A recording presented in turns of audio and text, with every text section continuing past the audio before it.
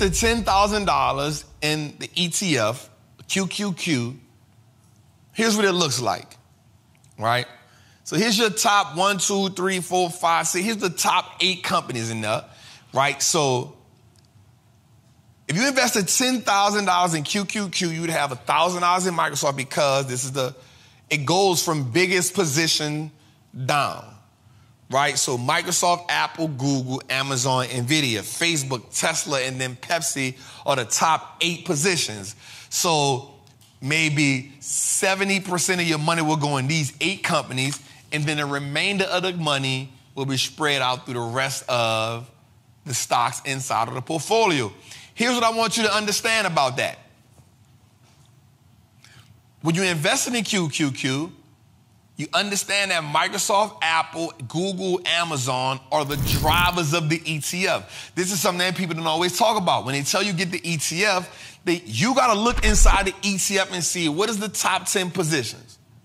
And then from that, what are the top three positions? Because these three positions are typically the drivers of the ETF. Meaning, as these three positions move, it's a good chance that the ETF moves. So, why is QQQ down so much? Because Microsoft is down, Apple is down, well, Apple was down, Google was down, Amazon was down last year. This is why QQQ was down so much. You feel me? So when you inside of your ETF, you want to find out exactly what's driving the ETF so you can know. Now, let's double down on this.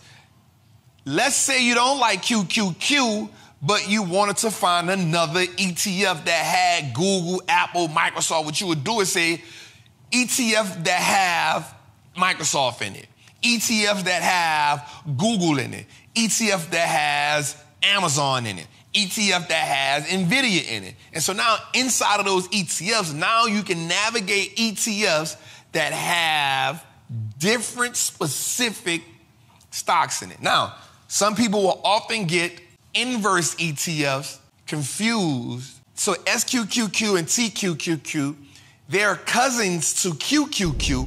One of them goes up when QQQ goes up, and one of them goes up when QQQ goes down. These indexes, ETFs, are wrapped up with futures and other options contracts inside of them. They're never made to hold for the long term. God damn, we cooking already. Somebody online is trying to charge you 1997 for this, man. He trying to tell y'all this.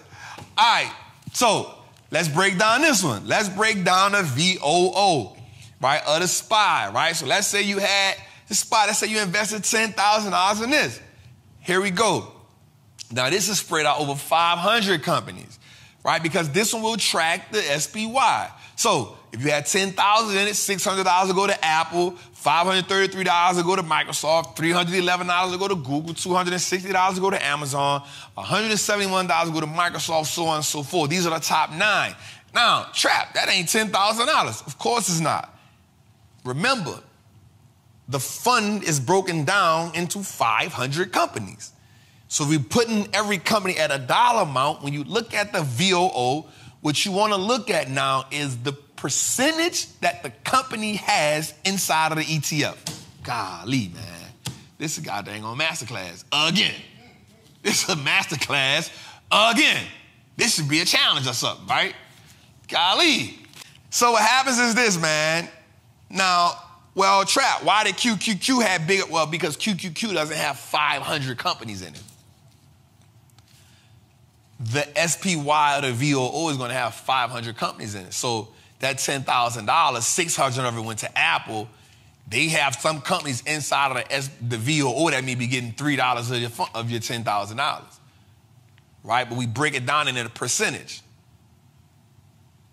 right? And once they once you break it down into a percentage, now you know what percentage of your money. So if you look at the VOO and it's Apple is at 8%, then you know that 10%, 8% of that $10,000 is an investment in Apple. Uh, that's how your money is spread out. But you're essentially invested in the fund itself. All right, so I just want to break that down for y'all right quick, man, because I know I got some ETF lovers, some index fund lovers, and I wanted you to see how exactly your money is broken down on a percentage basis inside of the ETF on a percentage basis inside of the ETF. Let's go, man. Golly, man. that boy is good. All right, man. oh, they should never give me that one. That's my favorite one. I ain't gonna lie. I think that's probably my favorite one. All right, man. So now let's take, let me take you on another journey. Right? Let me show you how you can find the perfect stock. Dave, just throw that graphic on the screen right quick. Let them get it. Let them get all of this Big Mac. This is good, bro. We out the gate firing. Let's go to the board early. Right? Let's look at this. So we're gonna draw a funnel, right? And we're gonna do is say, okay, first thing, my you first things first. We put buy at the bottom. Why is buying is at the bottom? Because there's a formula that must take place before we buy. There's a formula that must take place before we buy. First thing, is this in my circle of competence? How do I know? Do I understand the business? Thank you for the super chat, family. Second thing, stability filter. Is the company in financial good shape? Is, is the company financially in good shape? Now, that one may vary depending on where you at.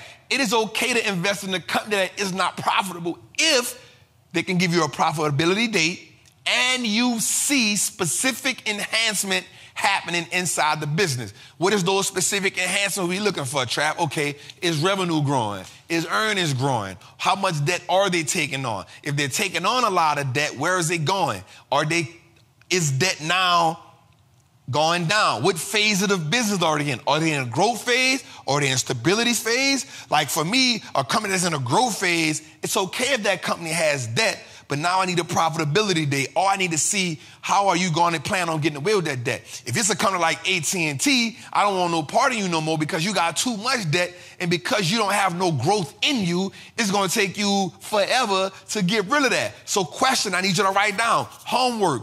If the company has a lot of debt, what phase of the business is the company in? Yeah, that that, tell me that was no board.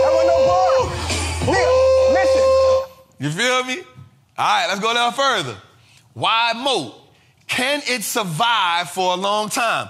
Meaning, does the company have some type of competitive advantage that sets me apart from its peers? Do we have that competitive advantage? Do we have it? It must have it. It must have it. All right? Price. Is the share price cheap? Now, you got to go back. If you're in Trappers Anonymous or if you took the Wall Street Trapping course, you understand how to find enterprise value. If not, go back to episode 24. We talked about how to use PE ratios. And the last thing we do is buy. As we move forward, I want to show you something. Even in the buying and selling process, you must be able to find a risk between the financial risk and the emotional risk. So I want to show you something. When we're looking at financial risk, we want to ask yourself a couple questions. What is my time horizon? What is my age? What is my tax bracket? And ultimately, in building out this portfolio, do you have to live off a portion of the portfolio or can it just appreciate? This is important. Time horizon. How long am I expecting this to be here? Age. How old am I? Tax bracket. Why is tax bracket important, Trap? Because everybody's tax bracket affects how they invest. Right? Your tax bracket affects how you invest.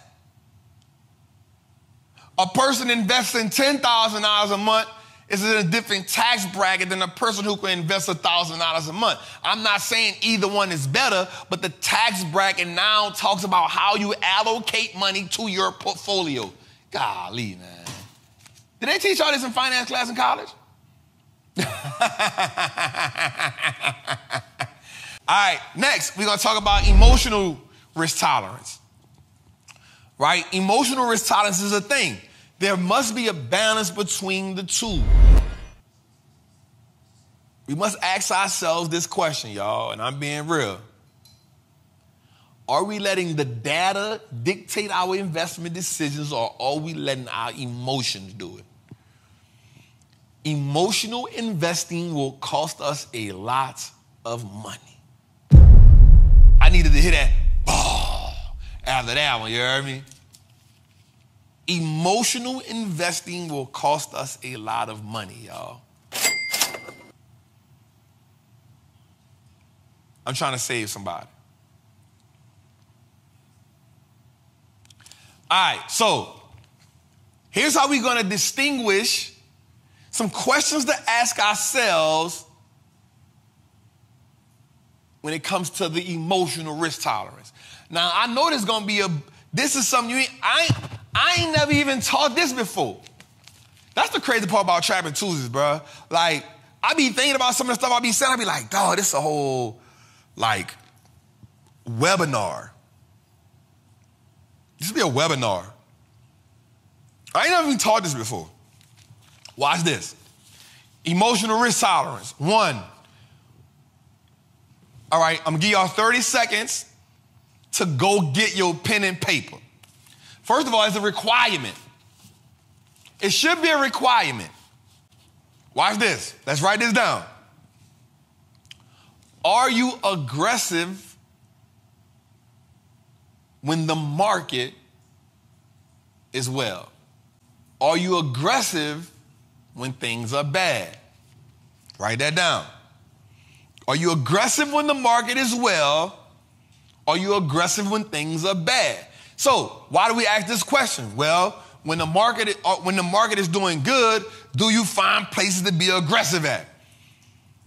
Right? Because there's people who, when the market doing good, they're like, you know what? I'm gonna just sit on my hands. I ain't gonna do nothing. I'm gonna play conservative.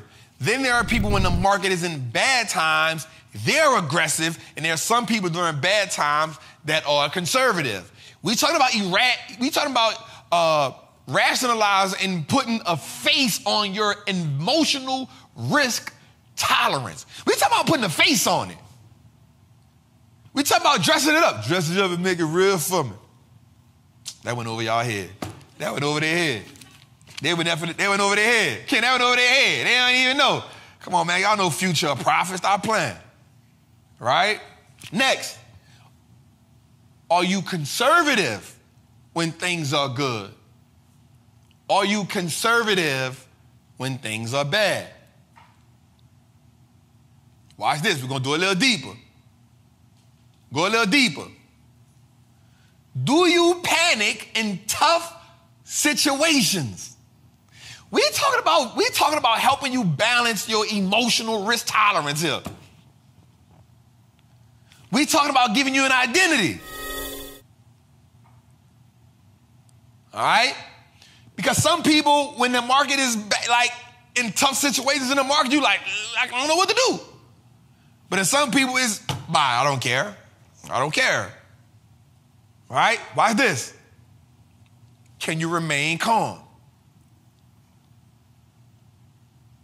Here's my question Does data direct you or does emotion drive your investment decisions? We at least want to be somewhere around 70 30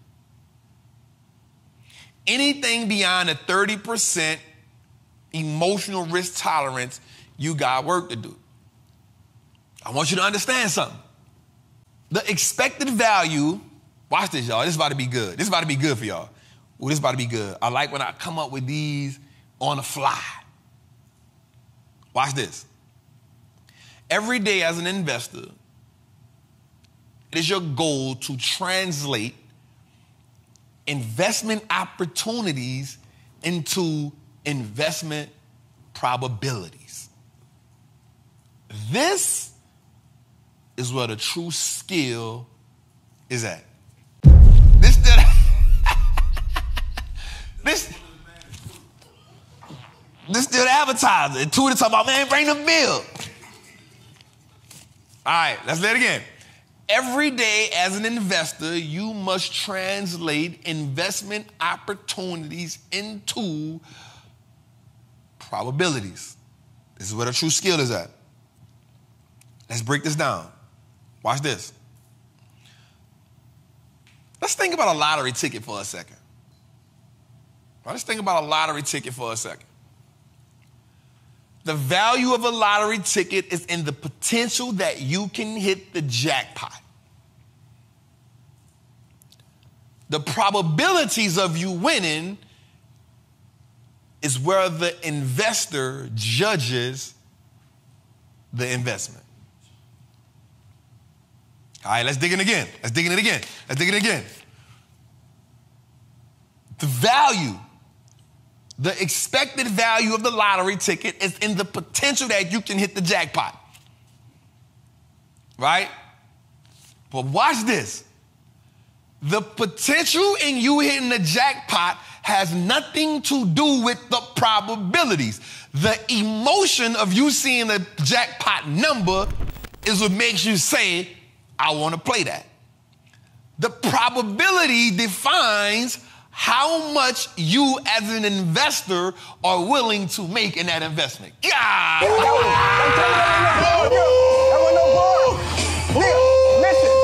All right, man. We're going a little further. Listen, we're going a little further. We're going to go a little further. I want to drive in on this because now what we're doing is we are now making you an investor. So the first thing we did was give you financial risk, and then we gave you the emotional risk tolerance. And now we painting it out for you.